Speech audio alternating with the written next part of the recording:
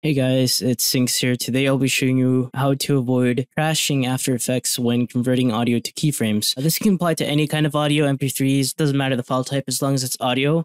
Sometimes it may stay stuck on analyzing audio. So to avoid this, what you want to do is, for example, let's say you have uh, preview open and you have something like this where you can see the audio waveforms, you want to make sure that's minimized and that's not visible because that can sometimes cause issues when converting audio to keyframes. So what you want to do after you've minimized it is convert it. And if it still crashes, then here's another solution you can attempt and it might work is that you can pre-compose the audio and once you pre-compose it you want to make sure that you don't have the waveforms visible at all and then try doing it again. Another solution might be just to like let's say disable everything that's in here.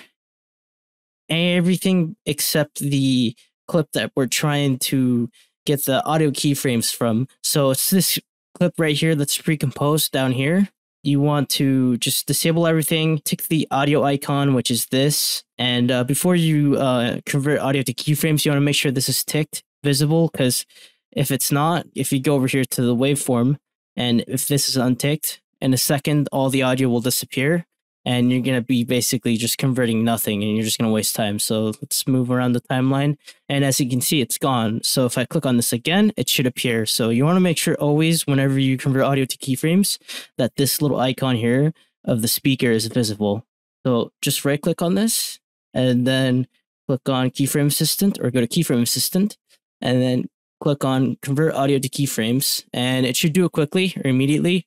It might take some time depending on your PC and depending on how fast it is, there's a lot of variables to consider, such as your CPU, RAM, um, GPU, and also if you have anything running in the background. So it might take some time, and it might not be the fact that you know it stays stuck in analyzing audio, and that if you try to cancel it, uh, After Effects crashes. You might want to give it like 15 minutes.